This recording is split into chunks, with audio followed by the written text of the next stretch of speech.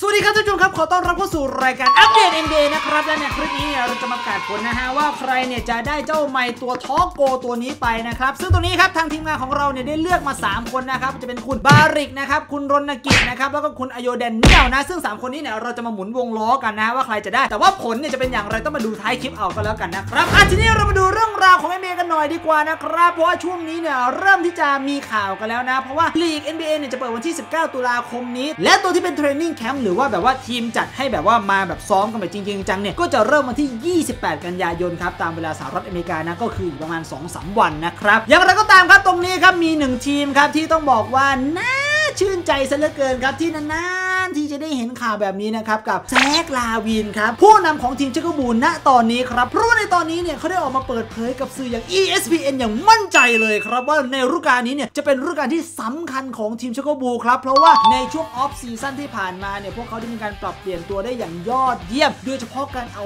ลอนโซบอลเข้ามาเขาบอกว่าลอนโซบอลเนี่ยเป็นผู้เล่นที่เขาชื่นชอบมากที่สุดเลย เพราะว่า IQ ก็สูง จ่ายบอลก็ดี วิ่งไปบุกก็เร็ว วิ่งมาป้องกันก็เร็ว perfect ไปหมดเลย แล้วพอถามถึงเพื่อนร่วมทีมเก่าที่เคยอยู่ด้วยกันแต่ว่าต้องออกไปเพราะามีการ trade ครั้งใหญ่เกิดขึ้นตัวเขาก็บอกว่าโอ้ผมเข้าใจดีครับเพราะว่ามันเป็นเรื่องของธุรกิจครับผมไม่ว่าอะไรแหมก็ใช่สิมึงได้ตัวดีเข้ามาเสริม หลายคนเนี่ยมองว่าปีนี้เนี่ยน่าจะเป็นปีแรกเลยครับที่แซค ลาวีนเนี่ยจะได้เข้ารอบเพลย์ออฟสักที เพราะถึงแม้ว่าก่อนหน้านี้ครับผลงานส่วนตัวของเจ้าตัวเนี่ยจะดียอดเยี่ยมขนาดไหน แต่ว่าผลงานของทีมเนี่ยมันก็ตกต่ำซะเหลือเกินครับ คือตั้งแต่อยู่ทีมอะทิมเบอร์วูล์ฟส์แล้วนะ คืออยู่หมาป่าก็เหงาไม่ติด พอมาอยู่ชิคาโกบูลส์คืออยู่ชิคาโกบูลส์มา4ปี แล้วไม่ติดเพลย์ออฟเลยสักปีคือ ผมว่าแซค ลาวีนอาจจะไม่ถูกโฉลกกับพวกสัตว์สัตว์ก็ได้คือถ้าไปเลเกอร์ตั้งแต่แรกเนี่ยน่าจะได้เล่นเพลย์ออฟนานแล้วนะที่ตัวแซค ลาวีนออกมาบอกอย่างนี้นะครับเพราะว่าในช่วงสัปดาห์ที่ผ่านมาครับตัวแซค ลาวีนเดอมาร์ เดอโรซานแล้วก็ลอนโซบอลเนี่ยพวกเขานัดไปซ้อมด้วยกันที่ LA ครับแล้วผลออกมาเนี่ยมันดียอดเยี่ยมมากก็เลยทำให้คิดว่า core หลัก 3 ตัวของทีมเข้ากันได้แบบนี้เนี่ยมันเลยเป็นอะไรที่น่าดูชมครับ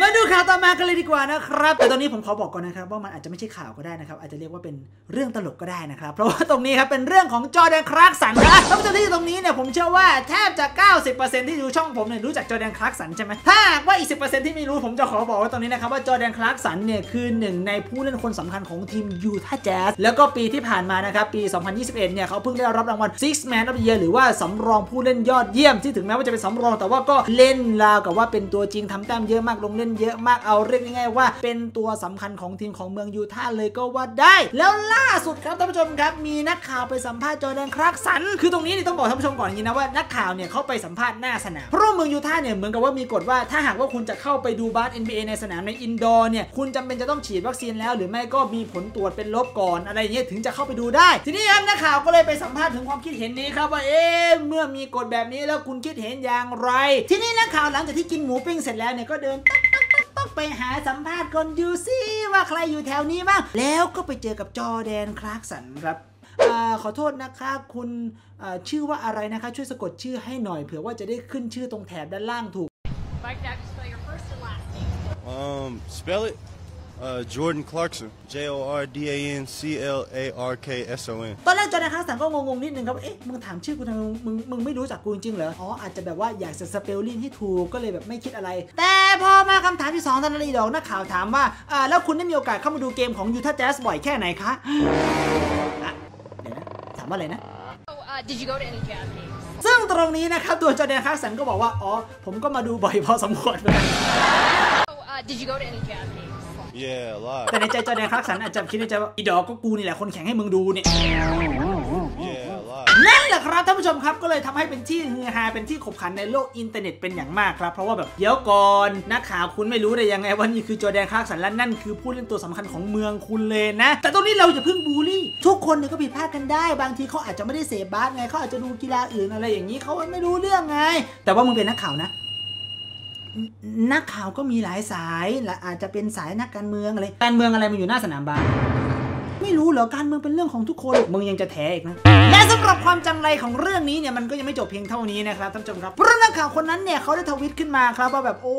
ยแบบน่าอายจริง ๆ เลยที่แบบว่าไปสัมภาษณ์จอร์แดนคลาร์กสันทั้งๆที่ไม่รู้ว่านั่นคือจอร์แดนคลาร์กสันซึ่งตัวจอร์แดนคลาร์กสันก็ไปรีทวิตนะครับก็บอกว่าเออไม่เป็นไรเดี๋ยว Let's go Jazz ไว้รอให้ฤดูกาลเริ่มกันอะไรอย่างเงี้ยซึ่งตอนนี้ก็เลยยิ่งทำให้คนเนี่ยยิ่งรู้เลยครับว่าโอ้ยนักข่าวคนนี้นี่ชื่ออีเฮลลี่คอมอะไรขออนุญาตนามสกุลผมอ่านไม่ถูกแต่คุณเฮเฮนรี่เลยกัน คนเนี่ยก็ตามไปถล่มกันยับเลยครับแต่อันนี้เนี่ยไม่จังไรเท่ากับผู้ชมทางบ้านครับ เพราะว่าผู้ชมทางบ้านเนี่ยเหมือนกับไปตอกย้ำคุณเฮนรี่ครับ โดยเอารูปนะครับของโดโนวันมิตเชลล์ครับผู้เล่นเบอร์หนึ่งของทีมเลยครับ แล้วก็พูดว่าต่อไปนี้ถ้าหากว่าคุณไปสัมภาษณ์ใครอีกแล้วเจอผู้ชายหน้าตาแบบนี้เนี่ยเขาชื่อโดโนวันมิตเชลล์นะ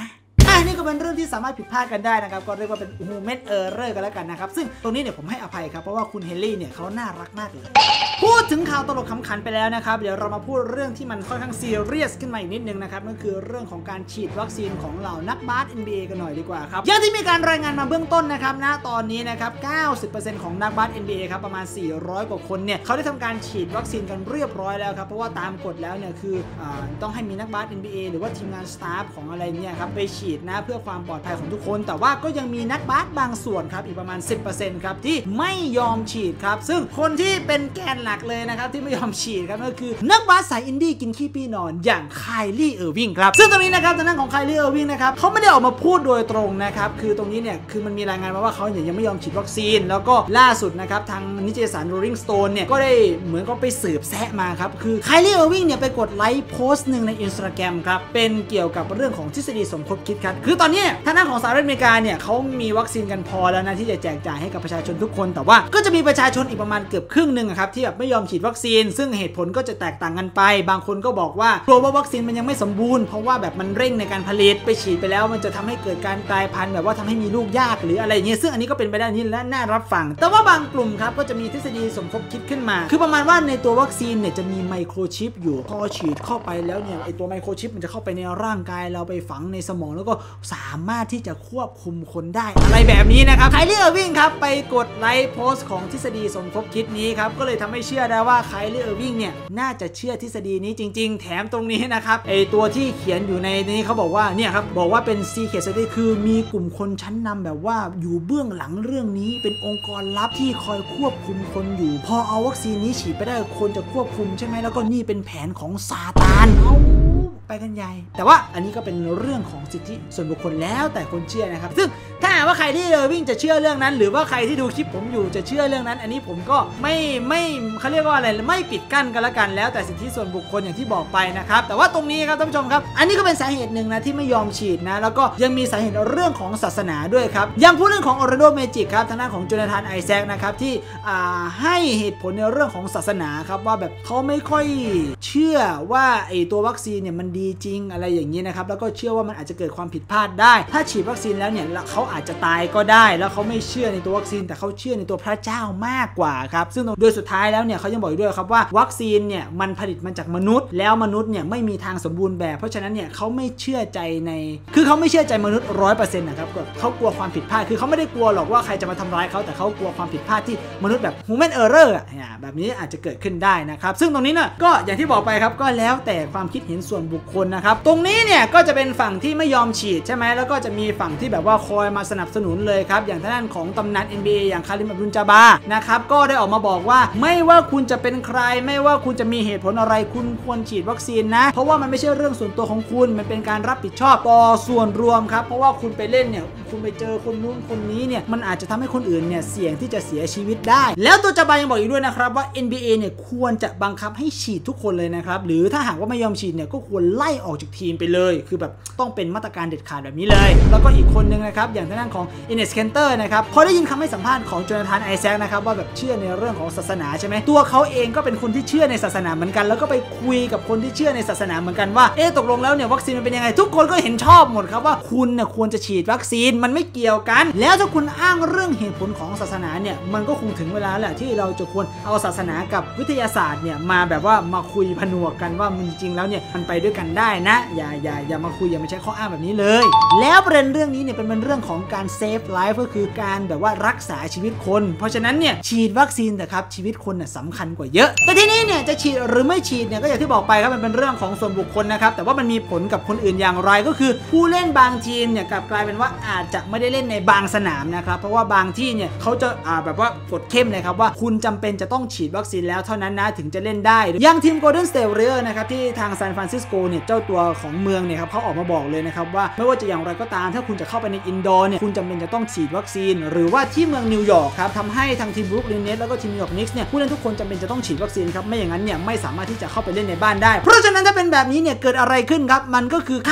ลี่เออร์วิงนะครับจะไม่สามารถนะครับเล่นเกมในบ้านของ Brooklyn Nets หรือว่าเล่นเกมเหย้าได้ครับ มีข้อมูลเพิ่มเติมนะครับบอกมาว่าไอ้กฎนี้เนี่ยเฉพาะของทีมที่เป็นเจ้าบ้านนะ อันนี้ยกตัวอย่างนะ อย่างไคล r ีเออร์วิงเนี่ยเป็นผู้เล่นของทีม Brooklyn Nets ใช่ไหมก็คือว่าจะไม่สามารถเล่นในบ้านของทีม Brooklyn Nets ได้ แต่ทีนี้สมมติว่าไคล r ีเออร์วิงเนี่ยไปเล่นทีม Golden State Warrior ที่มีกฎคล้ายๆกันตัวไคล r ีเออร์วิงสามารถเล่นได้นะครับคือมันเป็นกฎที่บังคับเฉพาะทีมเหย้าครับสำหรับทีมเยือนเนี่ยเขาไม่บังคับครับเพราะฉะนั้นเนี่ยอันนี้มีผลเฉพาะทีมในบ้านนะ แต่ว่าการเล่นในบ้านเนี่ยมันก็ครึ่งต่อครึ่งของฤดูกาลเหมือนกันนะครับ มันก็เลยทำให้ในฤดูกาลที่จะถึงนี้เนี่ยทำให้ทีม Brooklyn Nets เนี่ยมีผู้เล่นในทีมไม่ครบครับเพราะว่าไคลรี่เออร์วิงเล่นในบ้านไม่ได้ ก็เลยมันโอ้ยปวดหัวซะเหลือเกินครับ จนมีข่าวนะครับว่าทางผู้บริหารของทีม Brooklyn Nets เนี่ยยา อยากจะ trade เอาไคลรี่เออร์วิงออกครับ เพราะว่ามันหลายเรื่องเหลือเกินนะ คือแบบเดี๋ยวก็เรื่องอินดี้เกิน เดี๋ยวก็บาดเจ็บ เดี๋ยวก็ไม่ยอมแข่งขันเอาไม่ฉีดวัคซีนอีกทำคนอื่นเสี่ยงนู่นนี่นั่น แล้วทีนี้เนี่ยพอไคลรี่เออร์วิงไม่ยอมลงเล่นมันก็ยิ่งทำให้แบบว่า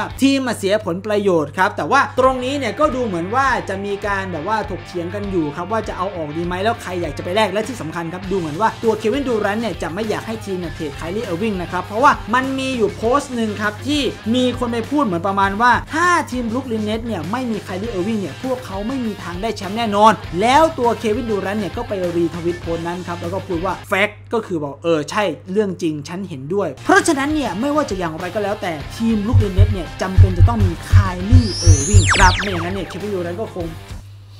ไม่ฉันก็จะไม่ยอมเล่นกับพวกแกเด็ดขาด แล้วเจมส์ฮาร์เดนก็ อ้าว แล้วกูผิดอะไรนี่ทำไมกูต้องมาอยู่กับทีมอินดี้ขนาดนี้เนี่ย กูแค่อยากได้แชมป์